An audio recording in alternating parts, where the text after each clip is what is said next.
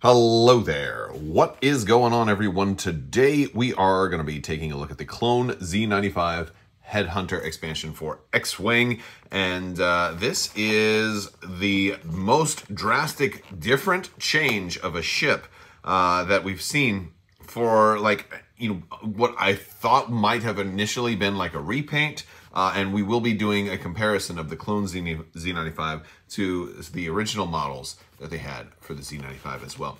If you guys are new here, I invite you to subscribe. Uh, check out the links we have down in the description below. Of course, we do giveaways all the time. If you ever want to have a chance to enter to win one of those, you just have to be a subscriber and leave a comment on this or one of my videos. Also, I want to thank today's sponsor, Luxury Playstyle. We have amazing full metal tokens from Luxury Playstyle you can check out. They are uh, gorgeous. They're double-sided, uh, and some, some of them you have completely different tokens on the other side as well, which is very, very cool. Um, and I, they come in a variety of different finishes, so I especially love these. You're going to absolutely love them. Orders of $35 or more that use code CRABBOKVIP are going to get a free Crabbok Lightsaber Nunchuck token thrown in. You get the five on the back. You can mark damage with that, or light side versus dark side.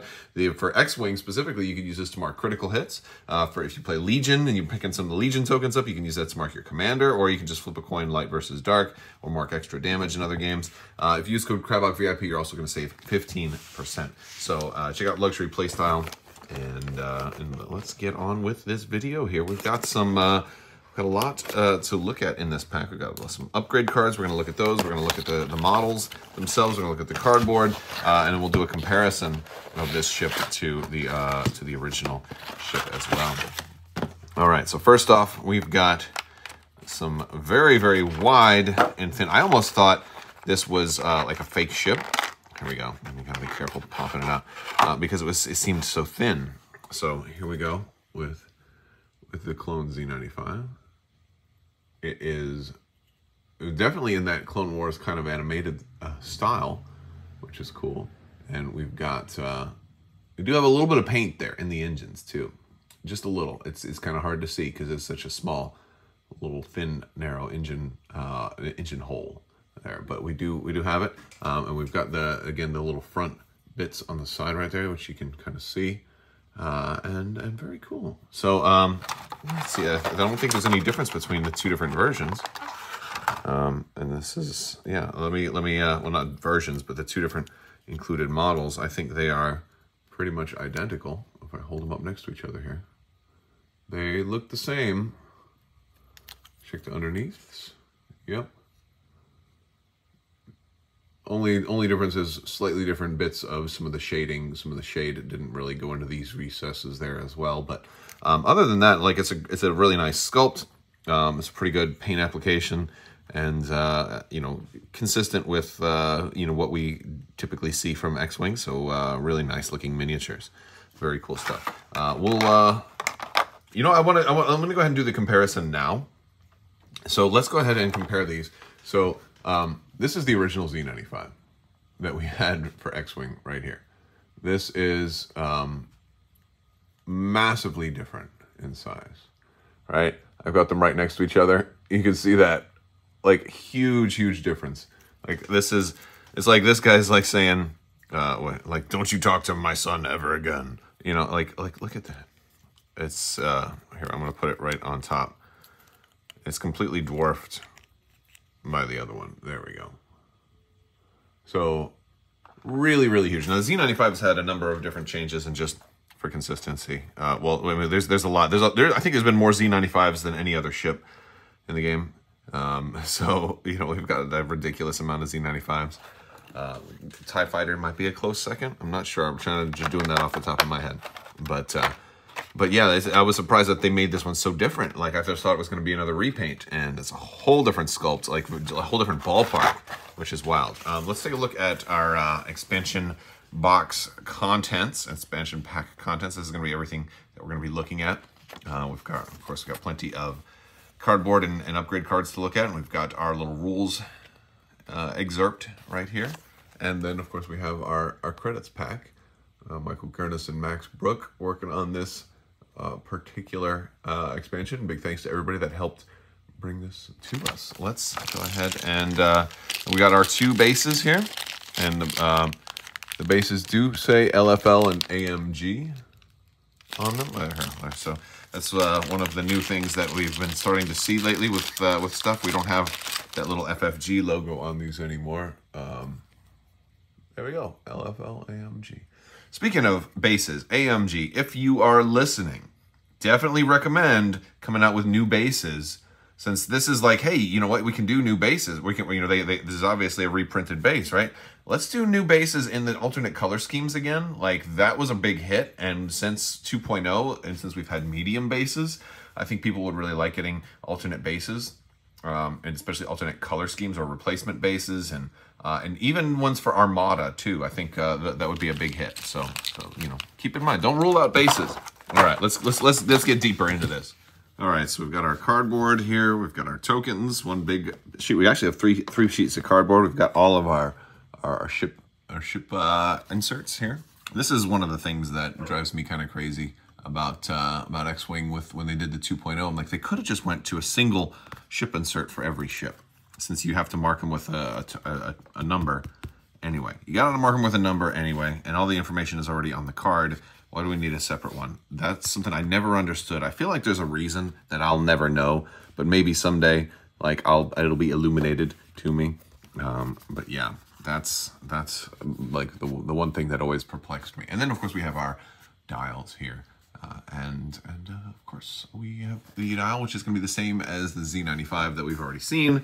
So uh, so yeah, and now I know some people have asked like, hey, can you use like a, a, regular Z95 with this one if you don't like the model or if you wanted, or vice versa. And uh, I believe according to the latest rules, you you basically, it's like a soft yes that yeah, sure you can, but it is going to be up to the TO because I can understand maybe I honestly I can't understand any reason why you wouldn't want somebody to use uh, you know mix and match their Z95 models because it's not like you're mixing matching factions. It's not like there's really any case where it could be confusing to your opponent. At least not one that I can think of, unless you were doing some kind of mixed format where you're mixing factions and like for some kind of homebrew event. Uh, in that case, then I could see it being confusing. But if you want to basically mix and match your your models, you totally can. All right, we've got cards to look at. So first off, let's look at pilot cards got Warthog. And we got a lot of stuff to get through, so I'm not going to read all the text on them. I'll just kind of make sure they're there so you can pause if you want. Um, we're going to look at Hawk. And we've got Killer. And we've got Boost. Really great artwork on that one. I mean, uh, these are, these all have really good artwork, but some of them really stand out to me. Uh, I, I love the artists that they're able to uh, that they're able to get to you know contribute to this game. We've got Drift there, and just really the art helps bring the cards alive and helps helps make the game uh, you know feel that much more thematic and makes it feel Star Wars. You know, we've got Slider, we've got Stug. Or stub, rather, not stug. stub. Reading is fundamental. Uh, we have uh, Reaper Squadron Scout. We have two of those. And then we have two versions of the 7th Sky Corps pilot. All right, we've got upgrades we're going to look at as well. Um, so we've got two copies of advanced proton torpedoes. We've got two copies of angled deflectors. We've got two copies of enduring. We've got two copies, you're seeing a trend here, right, with fire control system. We've got two copies of homing torpedoes. And we have, for some reason, one copy of ion torpedoes. You can pronounce those torpedoes if you'd like. It's, I, have heard that that is totally legal. We've got two copies of Mag Pulse warheads.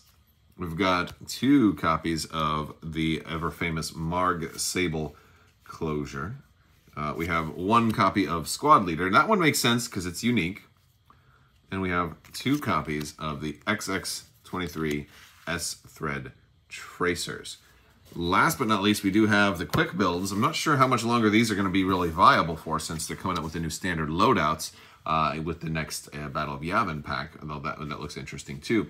But these are also here to help you uh, just get right into the game if, uh, if you know if points ever change or become unavailable and you just want to play the quick builds. That's uh, definitely always going to be a format uh, that you that you have the option to play as. So we got Boost, Drift, and Hawk on that one.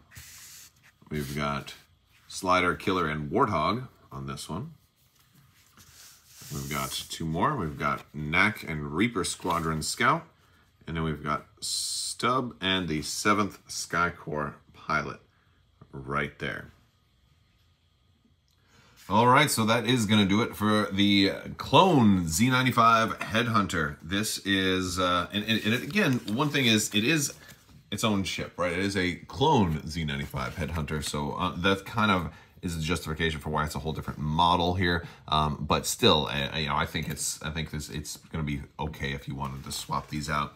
Um, it could be, because again, you're supposed to be having fun while you're gaming. If you're in a super highly competitive event, and somebody has a problem with it, then then of course maybe the TO will say otherwise. But so I guess what I would suggest is, you know, if you want to swap them, swap them, but always have the the correct ones available just in case. That's you can't go wrong with that, you know. And uh, and yeah, so there we go. All right, guys, that is gonna do it for today's video.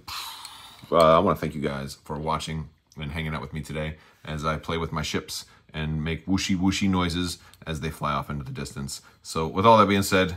Uh, have a, may the force be with you. Have a great day and goodbye there.